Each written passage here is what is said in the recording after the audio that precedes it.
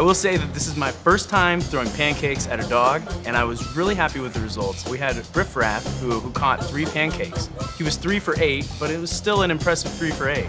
My name is Alex Hopes, and I'm a dog photographer. What I really like to do is try to capture personality and pull from an image the uh, expression and the emotion in a dog's face. More than just taking a dog's picture, you're taking a photo of the dog's moment in time. I love the way the screen flips out as well. It kind of makes it easier. A lot of what it takes is getting lucky. I had a friend once tell me that luck is when preparation meets opportunity, and that's what dog photography is. There we go. So one of the great features about this camera is that it does have burst mode, which allows you to shoot six frames every second.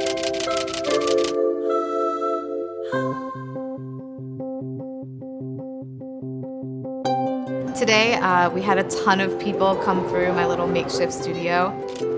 I'm Stacy Axelrod, and I am the NYC pet photographer. I photograph pets all over New York City and beyond. I got two printed off. They're gonna go right in my fridge when I get home. My girlfriend's gonna be super stoked. I studied photojournalism. I've spent a large part of my career in rescues, uh, animal rescues, animal shelters. When I'm taking portraits of pets, I always look for eye contact, ears forward, that cute little happy puppy face. My goal is to capture what the owner loves about their pet. We have the princess, and then we have Mr. Stubborn. He does what he wants. And if I'm photographing them with their owner, then any moments where they're connecting and showing how much they love each other.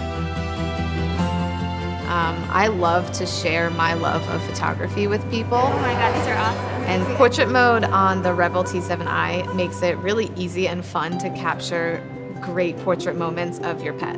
Uh, it gives you that blurry background that you see coming from professional photographers.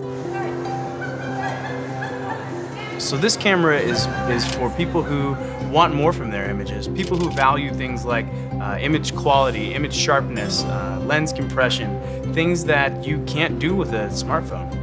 It's gonna look like a professional portrait because the depth of field is so much better. It captures the realistic colors of your pet in a way that a smartphone usually cannot. The different modes like sport mode, TV mode, and aperture priority make it possible to create some really powerful images.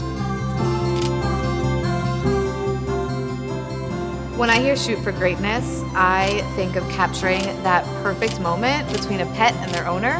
With pets, a fabulous moment can happen in just a split second, and you need a great camera that can capture that. What Shoot for Greatness means to me is achieving more from photography. A lot of times the best moments in life are unscripted, and you have to be ready.